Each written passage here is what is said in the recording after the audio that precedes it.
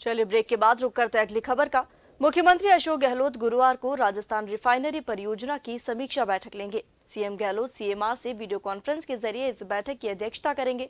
दोपहर 12 बजे होने वाली इस बैठक में खान और पेट्रोलियम मंत्री प्रमोद जैन भाया राजस्व मंत्री हरीश चौधरी, पचपदरा विधायक मदन प्रजापत, मुख्यमंत्री के सलाहकार डॉक्टर गोविंद शर्मा, मुख्य सचिव निरंजन आर्य, अतिरिक्त मुख्य सचिव खान और पेट्रोलियम सुबोध अग्रवाल के साथ ही अन्य अधिकारी शामिल होंगे। इसके अलावा एचपीसीएल के CMD MD Surana, HPCL Rajasthan refinery limited के सीईओ एसपी गायकवाड़ भी बैठक में शामिल होंगे। सीएम रिफाइनरी परियोजना को लेकर अब तक किए गए कार्यों की प्रगति की जानकारी लेंगे और आवश्यक दिशा निर्देश जारी करेंगे।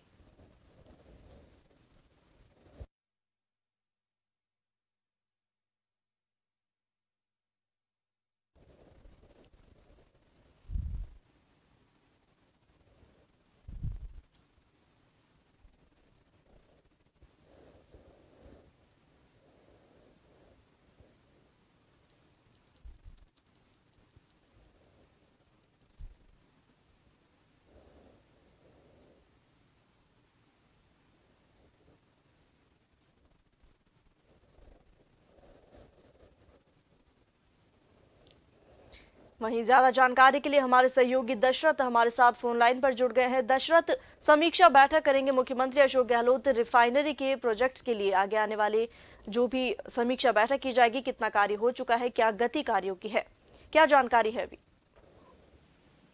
देखिए, निश्चित तौर पे सीएम का ये ड्रीम प्रोजेक्ट है बाड़मेर रिफाइनरी और खासतौर पे मुख्यमंत्री लगातार इस प्रोजेक्ट को लेकर लेते रहे अधिकारियों से फीडबैक लेते रहे हैं।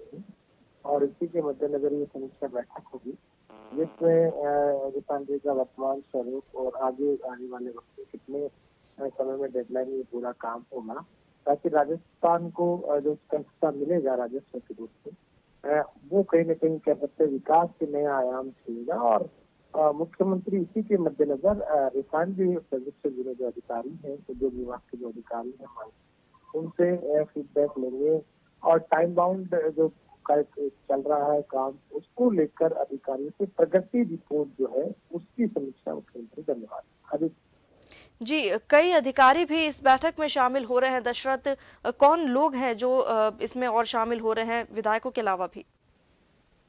देखिए खास तौर पर इस बैठक में जो के ज़रिए बैठक हो रही है उसमें बाद में रिफाइनरी से जुड़े जो अधिकारी हैं वो शामिल होंगे।